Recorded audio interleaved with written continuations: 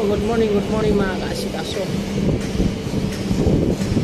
Ah, gagawa na po tayo mga kaasikaso ng vlog na yun. Ang gagawin po natin, papakita ko sa inyo guys yung pamamaraan po ng mga pag hauling at pagbubuhat po ng mga materialis po dahil siyempre kailangan po natin na alamin din kung paano magbuhat ng mabibigat na bagay po. Kailangan alamin natin kung paano magbuhat share ko lang. Ipapakita po natin guys. Samahan mo po si Asikaso Okay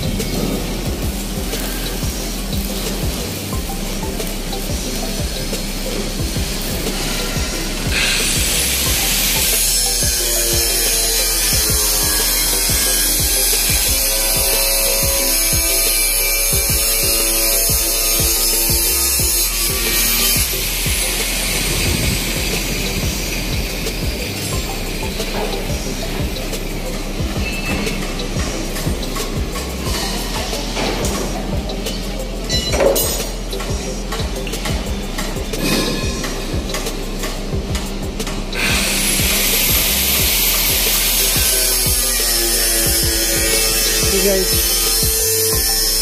Ito kasi guys. Ito po kasi yung pina, pinulik. Ginagamit po to sa mga formworks guys. Ito po yung ginagamit sa islab. Sa mga beam. Saka mga poste. Kulong. Ito yung mga ginagamit ko. Kasi matibay ito kasi ng klase itong mga pinulik na ito.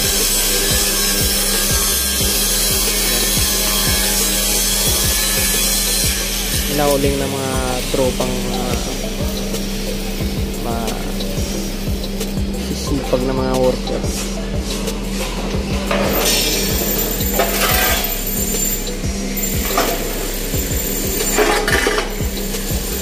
Content natin kuya.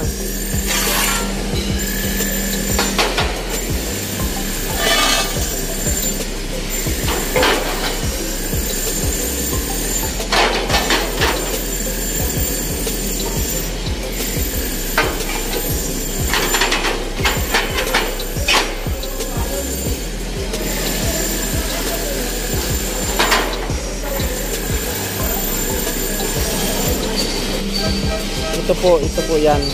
Ito po yung mga pinulik na yan. Ginagamit po to sa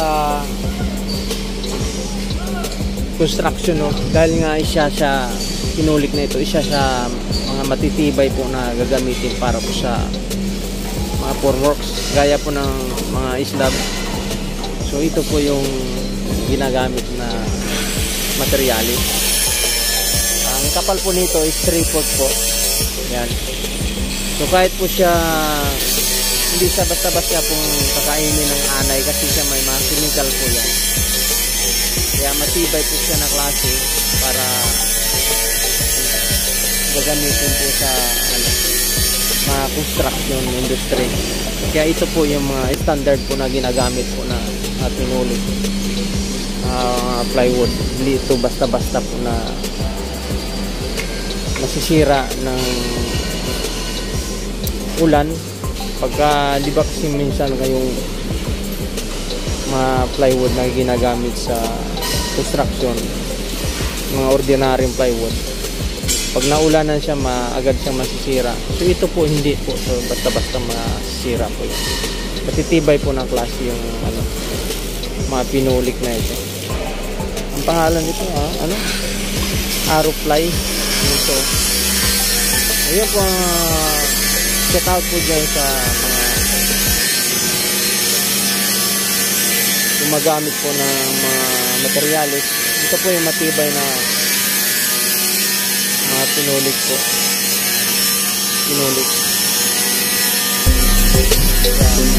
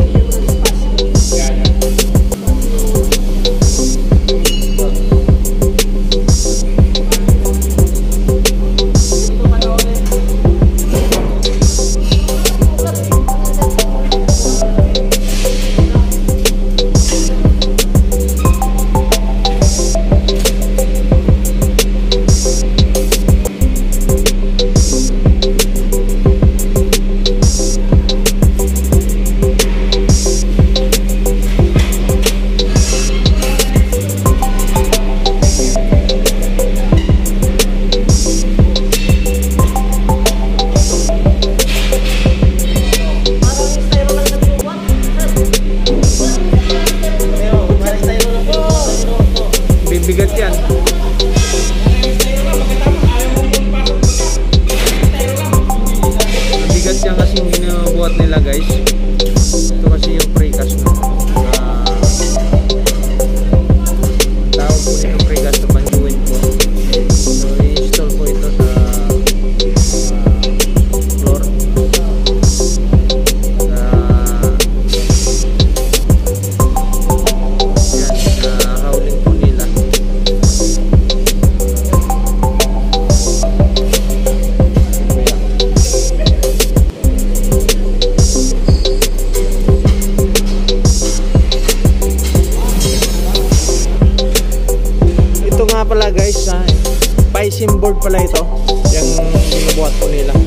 so mayroon po talaga silang trolley oh kargahan.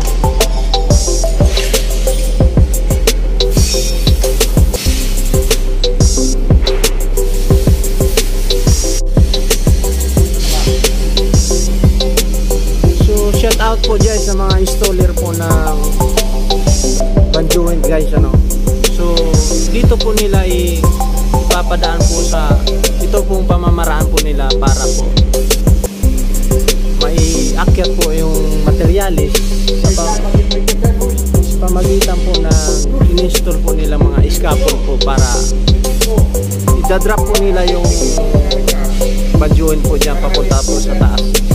Tingnan nyo guys kung paano pamamaraan ng mga Pilipino po na mga manggagawa po natin mga workers no? Tingnan natin guys kung paano nila ipapakyat po yung badyuin po ito pong badyuin to precast po yan guys ah. ini-install po yan sa mga wall. Titingnan po natin mga pamamaraan nila guys. Kaya guys titingnan nyo guys kung paano ipakyat po yung ano badyuin po. Yung precast yan ha may ah, bigat talaga po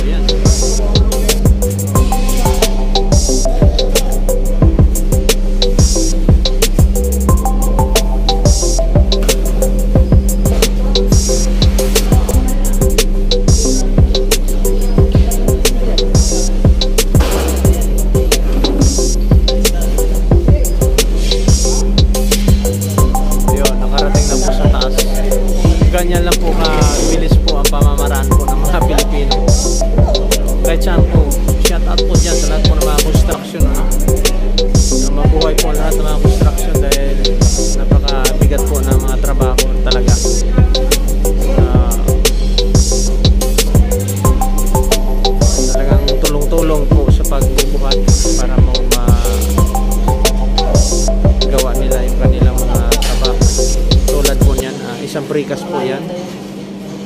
Ah, mabigat po talaga yan, ano? Dahil nga sa mga diskarte po nila, ayun, ma, ano po, tulong-tulong sa pagbuhat.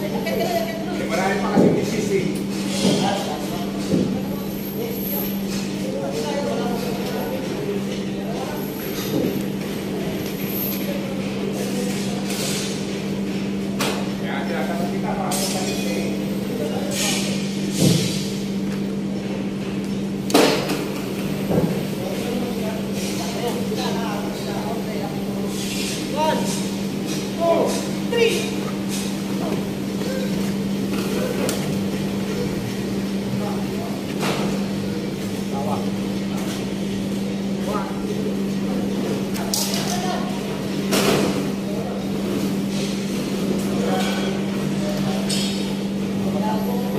galing ano? Talagang kinakaya talaga ng ano, maramihan. Pag marami kasi kaya trabahuin ang bagay-bagay. Pero pag uh, kunti lang talaga ang gagawa ang magbuhat, hindi talaga kaya. So yan guys, share ko lang. Ano? Maraming salamat.